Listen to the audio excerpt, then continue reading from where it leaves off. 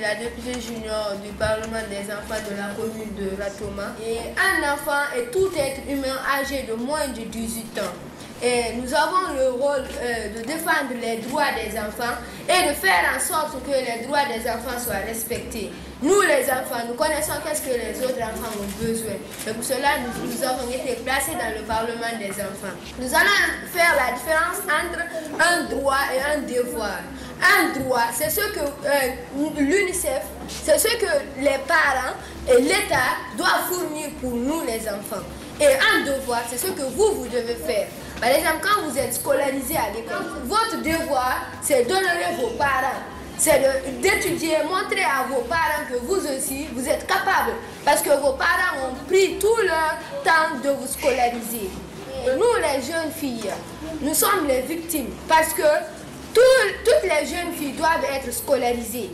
Et je demande à toutes les filles d'essayer de, de parler à leurs parents et de le scolariser parce que comme vous l'avez si bien sur le thème, les filles d'aujourd'hui et les femmes de demain, nous sommes l'avenir de notre pays. Parce qu'un enfant bien protégé est une ressource pour le pays. Je vous remercie beaucoup.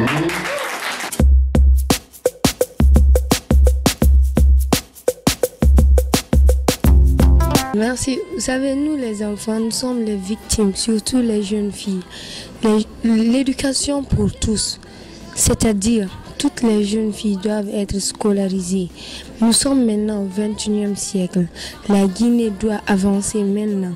Il se peut que les grands cadres que vous verrez, il se peut qu'un jour la présidente de la République soit une fille. Et cette fille doit être, scolarisée. Parce que tout ce que les parents peuvent nous donner, euh, ils peuvent nous donner de l'argent, des voitures. Mais tout ce qu'ils peuvent nous offrir est comme un bien et qui va nous rester, c'est l'éducation. Parce que l'argent peut aller. Tu peux mourir avec l'éducation. Et surtout aussi à la maison. Les parents doivent nous assister vraiment. Et nous demandons aussi à l'État de construire des écoles pour ces enfants, surtout les enfants des mendiants, les enfants, les, enfants pauvres, pour des écoles publiques. Mais bien sûr, nous avons des écoles publiques, mais ce n'est pas suffisant.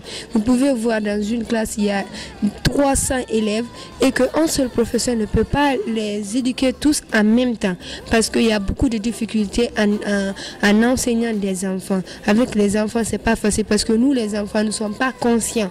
En tant que moi, moi, député junior, je connais que nous ne sommes pas conscients. Nous avons besoin des parents et nous avons aussi besoin des professeurs à l'école pour nous éduquer. Donc, merci.